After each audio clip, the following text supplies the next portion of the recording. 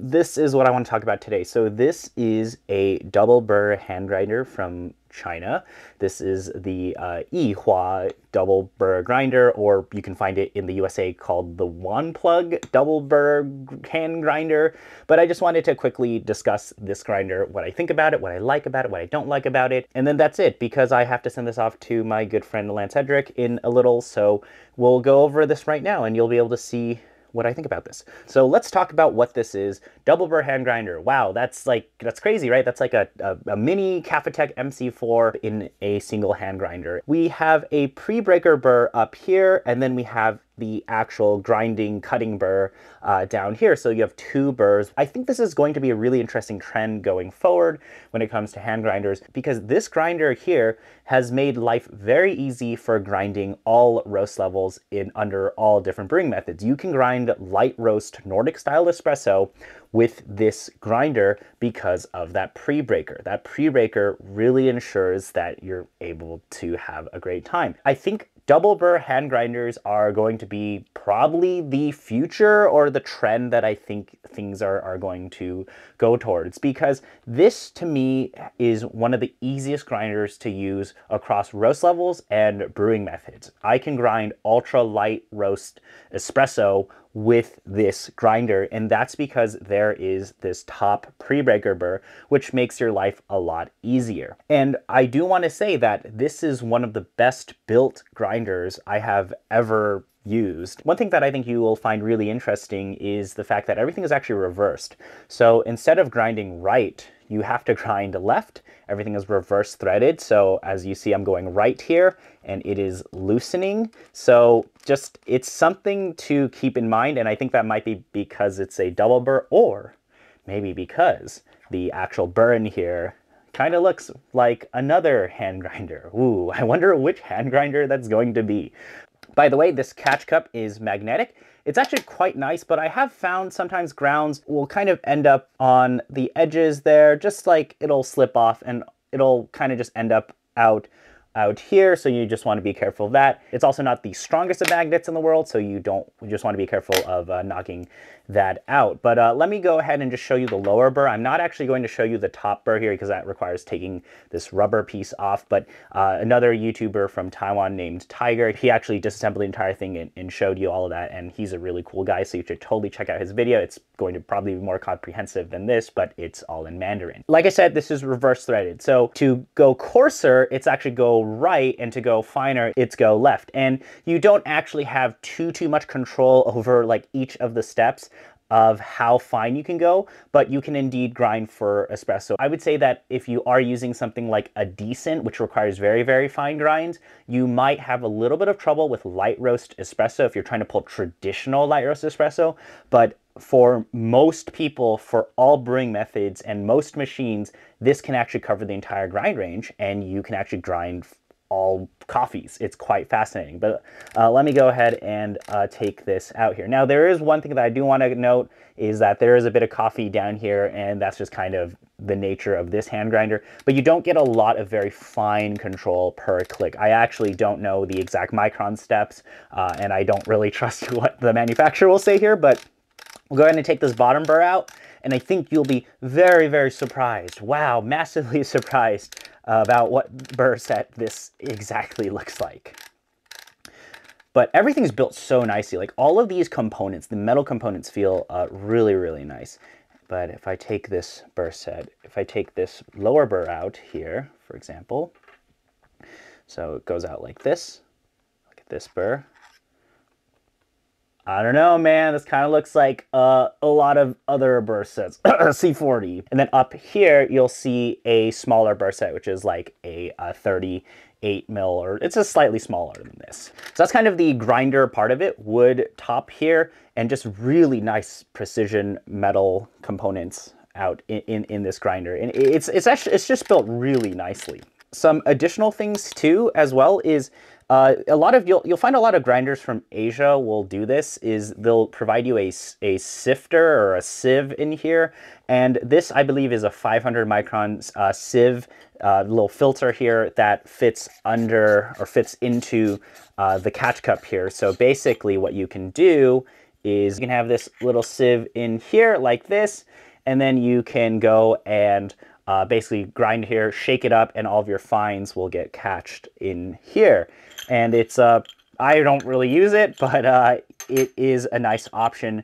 And I do want to note that getting the coffee grounds out of this grinder is uh, a little bit annoying because of this opening here. There's no like easy way to just dump the coffee out. But um, aside from that, this has been a fantastic grinder. What is what still really surprises me is how nicely machined all of these components are. I haven't mentioned this yet, but this is going to be around 200 to 300. There's a big price variance because of where you can get it from. There was a brief period where these were on Amazon, but you can indeed buy these from like Taobao, AliExpress, Alibaba, but this is just a really nicely built grinder and this is about a two pound two two-ish pounds now let me also show you what else you get. You get a nice little carrying case that comes with it and in the carrying case we have a place for the actual grinder two little like puffers and then a brush because you definitely will need a brush with this and you get a nice little replacement uh, sleeve here for your grinder. But yeah, this is all metal, metal, metal, really, really nice. And you do really want to be careful of just grounds getting in here. Like it, this is not the lowest retention of hand grinders, but I think the results and just the usage of this grinder is fantastic. Let me just now set this to the finest and just grind some Sey for, which is like pretty light, I would say. Haha, jokes there. And uh, yeah, you'll be able to see there. Um, and the grind speed on this is also really, really fast. And I'll bring out another hand grinder, which I think is very comparable as well when it comes to taste, uh, just to show you how much more difficult it is to grind.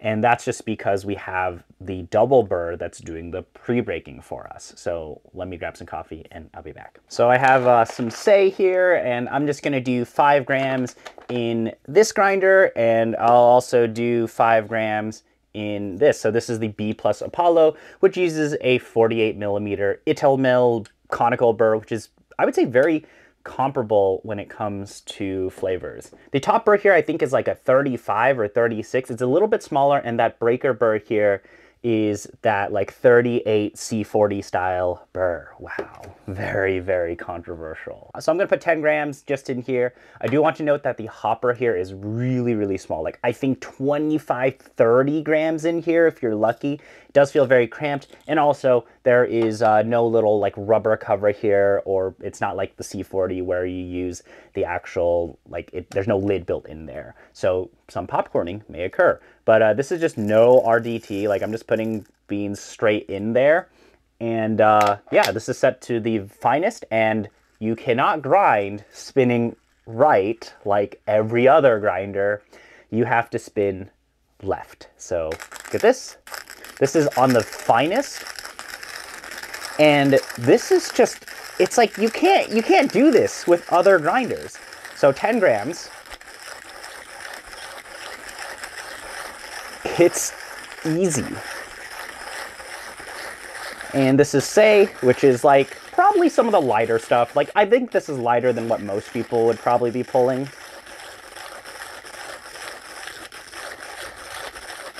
And we hear that pre-breaker initially. What's also nice about this is it's quiet. So there we go. This is 10 grams there. Like that's pretty easy and it's nice and quiet. But as you see there, some grounds kind of just end up out there, but that's not really that big of a deal. I would just brush them through, pouring those grounds out. It's kind of a little bit painful, like you gotta really make sure they go through there, but that is indeed, that is indeed espresso fine. It's not the cleanest of grinders, I would say, but it's so easy to use. And that's just maybe a little rare for me, at least someone who uses like a Pharos and, and whatnot. You know, I think this is what most people's experiences are, are going to be like if you try to grind for an ultralight. And really that ease of use is, is really nice. But uh, after I just show you this, I'm going to tell you about how it tastes and things that I, um, you know, maybe I wish were a little bit different about the grinder but you're kind of already seeing it. It's really just a little messy to use. But uh, all right, let me go ahead and uh, grind also 10 grams in this at an espresso setting. I put 10 grams in this guy. This is the B plus Apollo, uses a 48 mil, but there's only a single burr in here versus two. So let's go ahead and grind. And as you can see here, this is much more difficult at espresso fine. Like this is probably your experience if you have any of these hand grinders and you're trying to grind Nordic ultralights at espressos. You gotta really, really get in there. It's not like this can't be done, but it's just so much more difficult. And the burr set is a little bit bigger in here, but it's really this pre-breaker that is saving you here when it comes to just ease of use. I'm not, I'm not even gonna really bother trying to finish grinding this, uh, but yeah, that is kind of my typical experience with even the C40 and other hand grinders, and none of that happens with this guy. This guy is just, it's, it's really easy to use. Let me go ahead and actually real quick show you how coarse this top burr is, the pre-breaker. So I'm just gonna toss a few beans in here. And you cannot adjust the coarseness of the top burr, by the way, but uh, go ahead and do this, because you can do this, because the top burr, and you saw a little bit of popcorning there, but um, that's how coarse, like this is ultra, ultra coarse. But because we're already breaking this top part down, it makes it so that when you finally hits that kind of final cutting part, it's super, super easy to actually grind with. Just want to interrupt the video real quick by thanking today's video sponsor, Skillshare. Skillshare is an online learning community with thousands of online courses and members across 150 countries. You can basically learn about anything you want, and when you sign up, you can get personalized suggestions and explore pretty much any topic you want. I've actually been really enjoying a class from Michael Phillips. He's the director of training at Blue Bottle Coffee. I've never seen a class that just breaks down complex coffee topics in such an easy and digestible way, and that's seen in Michael's class From Plant to Cup brew an amazing cup of coffee. I just love how simple Michael makes it to understand how to take a complex topic like tasting coffee and taking a property such as acidity and interpreting that as a flavor note in cup when you drink coffee. And that's just because of how these topics are broken down in a really easy digestible lesson format that you can find when you use Skillshare. I also really like that there is a transcript for each of the sections of the video so you ensure that you don't miss anything. If you want to learn from people just like Michael, you can use the link below. The first thousand people to use the link below or code Brian Quan will receive one month free of Skillshare. Let me kind of talk about what it tastes like in some brief comparisons to like the Apollo C40, Lagom Mini, uh, and, and other things. So this is one of these, like you copy the C40 burr, you know, they're all like C40 style. And it's actually really, really nice. To me, it's definitely not as clear, like it's pretty clear, but it's not as clear as something like the 48 Italmills in the B plus Apollo or even the C40. But what's really nice about this is I feel like everything else is just really nice in cup. So we get really great body, really great finish. It still has that conical finish, but you can indeed do at least pour overs and espresso of light roast coffees. For ultra lights, you definitely cannot do low ratio espresso with this guy.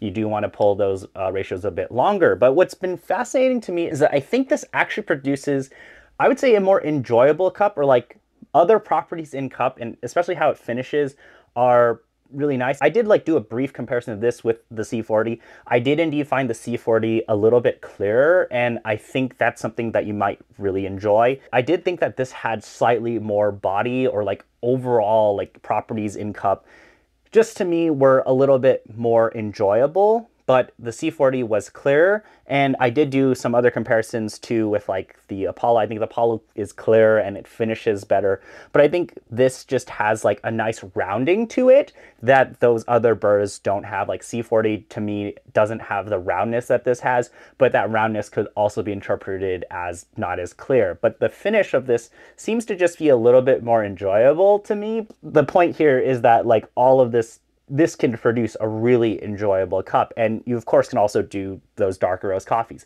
In espresso, I did find this to have a little bit more body than like even the Lagom Mini and C40. And I think that's because of the top breaker burr. But I'll have someone like Lance test it. He knows a little bit more about taste than I do, but that's just kind of my opinion there. Another interesting thing, and that's just because I've been currently testing them, are the uh, Mini Moonshine burrs. The Moonshine burrs to me remind me a lot of the C40. They're really clear, but the finish on them is not as smooth or not as rounded like this is. So to me, I actually think this is an incredible hand grinder for the money. I honestly would just buy this because it's just easy to use. Now, you can't really find them on Amazon anymore. You can find them on AliExpress and everything.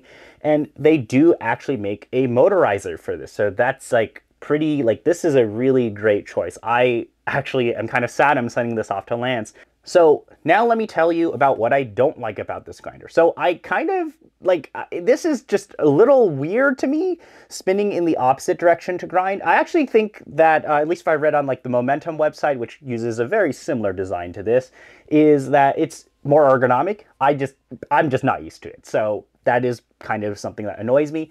Another thing that really bothers me with this is if I'm trying to do larger pours and if I'm using larger beans, is this hopper here like 30 grams at most. It's kind of annoying to use if you put in a lot of beans, but because like it doesn't matter how dense those beans are, that top breaker burr just makes your life so easy. So that can be forgiven, uh, but everything else being like reverse threaded is just something that to me I need it. Like it, it's it is annoying, and I think you're gonna need to get used to that. And there are kind of two other slight complaints I have.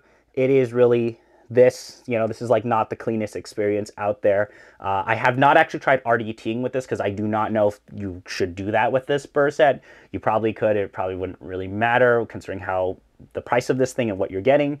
But also, uh, the one thing is I do wish you had more control over how fine you could grind. Basically for espresso, I'm just always at the finest setting and I've been finding that it is pretty forgiving in terms of flavor because of just how this finishes and the overall body you get. But it really does remind me a lot about like the MC4. This is like that baby Kafatek MC4, which is super funny to say.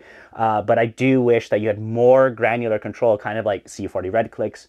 But I think people have been shimming this thing, which is like very fun to say. Yeah, you can't go any finer than that. That could be a little bit annoying, but uh, I I think it's fine. Like for for most brewing methods, works great. The flavor is great. The experience is very very easy to use, regardless of what grind size you use, what what density, what you know roast level of beans you use, and I think the flavors here are are pretty good. Like across the board, you're just getting an enjoyable cup. You're getting a clear enough cup, but I think it's everything else in the experience, like that mouthfeel, the body, the like finish of it. It's pretty good. And honestly, I'm really surprised that this is so good at this price point. If you do want one that doesn't come from like AliExpress or something, there is the Momentum hand grinder. The biggest difference that I think will be worthy to think about is you'll be able to adjust the coarseness of that top burr. So I don't really know if